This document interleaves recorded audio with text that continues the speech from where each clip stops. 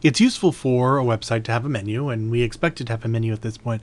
There's this administrative menu, but that's basically a kind of a built-in menu that comes with Drupal, and you can edit the shortcuts for that.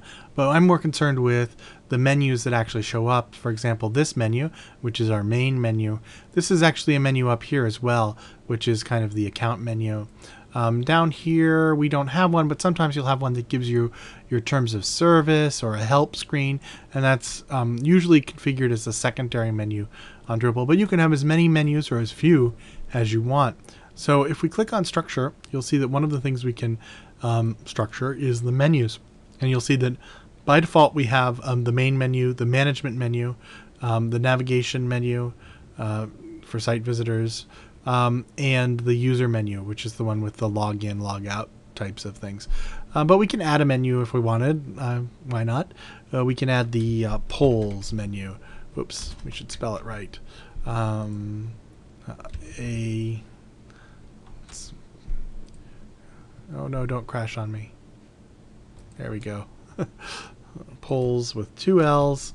Um, polls menu and uh, well polls. Okay I can't type today. There we go. We'll just save it for now. So we have a new menu. Yay! Now this is a very empty menu. Let's go ahead and add a link. Um, where are we gonna add a link to? We'll call it radness. And the path is um, oh wow content Drupal rad.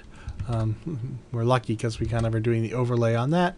And whether or not Drupal is rad.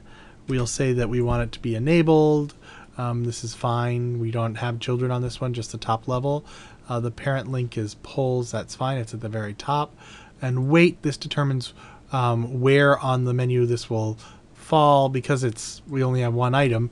It's obviously going to be first and last and everything in between.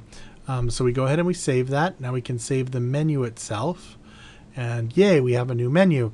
Now, just because we have a new menu doesn't really help us that much um, because with although we have a menu, we don't we haven't put it anywhere. So let's um, go to our blocks and um, let's go down to the um, things that are not the things that are disabled and we'll see that we have something here called polls. We probably should have called that polls menu so it was clearer and we can put it um, we'll put it down um, at just below the very, just above the very bottom of the page, and we'll save the blocks.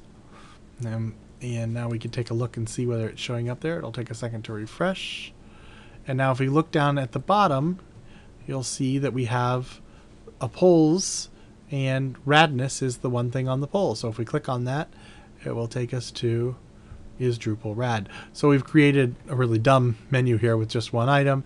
We could again, we could configure this we could edit the menu, um, for example, um, uh, and we could move things around. Once we have multiple items, we don't have to do weight. We can actually move it up or down. Actually, let's go back real quick to menus, and we can do that with our home menu, the main menu. We'll edit the menu. So, for example, if we thought that galleries were really important, we could, oops, wrong one, we could move it up here to the top, not up to the under home, but right here and then we can save it. And you'll see that we can it's now moving it's reloading and it's moved galleries up here. So we can do we can basically again without ever touching HTML or anything um, have multiple menus and have them all uh, located in different in different places